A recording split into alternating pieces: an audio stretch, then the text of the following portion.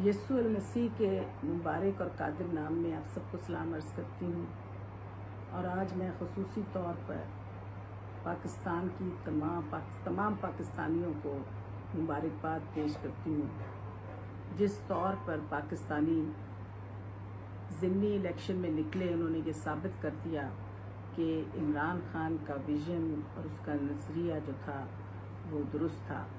मैं बिलखसूस अपनी मसीहों मसीही कौम का शुक्रिया अदा करना चाहती हूँ। जिन्होंने बढ़ चढ़ कर इस इलेक्शन में हिस्सा लिया, भरपूर तरीके से वो बाहर निकले और इमरान खान को वोट देकर उन्होंने इमरान खान को जितवाया।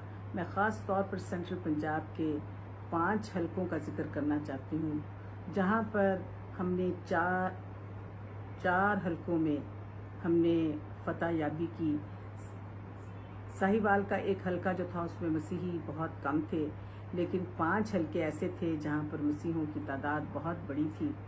मैं शुक्रगुजार हूँ अपनी पंजाब की क्यादत का, ख़ास तौर पर डॉक्टर यासमीन राशिद का और हमाद अज़हर का और उनकी सारी टीम का, जिनकी क्यादत में, जिनकी रहनुमाई में हमने ये इलेक्शन लड़ा और भरपूर तरीके से मसीहों ने इसमें वोट डाला। मैं तमाम फोकल पर्सनस पाँचों पीपीस के ख़ास तौर पर 168, 167, पीपी 140 और पीपी 170 और पीपी 168 इन तमाम फोकल पर्सनस का शुक्रिया अदा करना चाहती हूँ जिन्होंने बड़ी मेहनत की और बड़ी लगन के साथ इस इलेक्शन में हिस्सा लिया और अपने कैंडिडेट्स को जितवाया।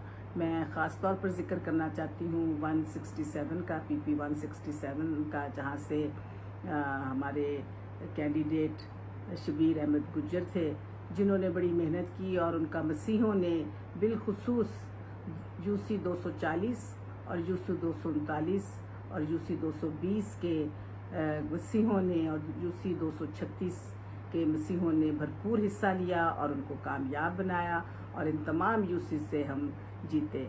ये फतह पाकिस्तान की फतह हुई है, ये फतह इमरान खान के बयानिए की फतह हुई है और ये फतह जो है पाकिस्तान को आगे लेकर जाएगा।